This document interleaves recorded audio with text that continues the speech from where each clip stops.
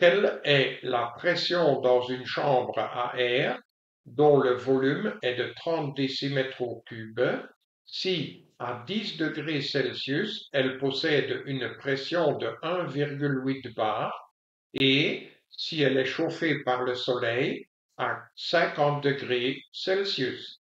Inscrivons d'abord les données. La pression P1 est de 1,8 bar, c'est-à-dire de 1,8 fois 10 exposant 5 scale. Le volume 1 est de 30 décimètres au cube, c'est-à-dire de 0,03 mètres au cube.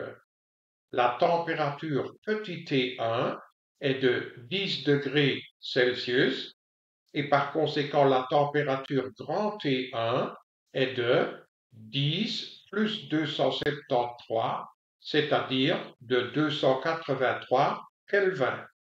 Ce qui est demandé, c'est la pression P2, pression que nous exprimerons en Pascal et aussi en bar. Si un pneu est chauffé de 10 degrés Celsius à 50 degrés Celsius, nous pouvons considérer le volume comme constant, c'est-à-dire que V2 est également égal à 0,03 mètres au cube.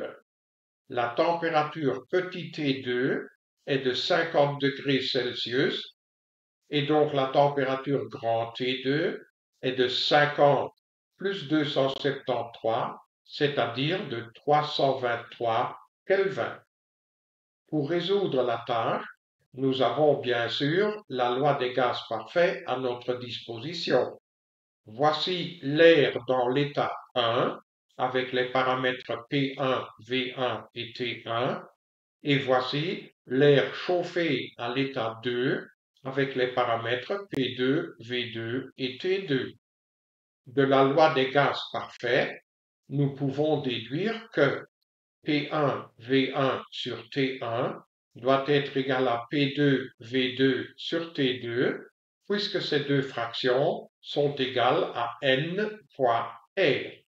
Et de cette égalité-là, nous déduisons que P2 est égal à P1 V1 T2 sur T1 V2.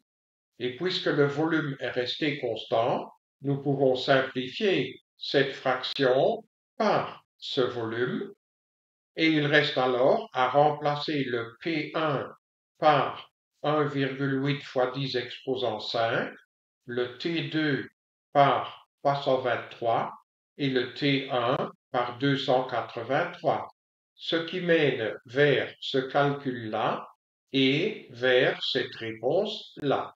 Finalement, la pression P2 demandée vaut à peu près 205 441,7 pascal, c'est-à-dire à peu près 2,05 bar.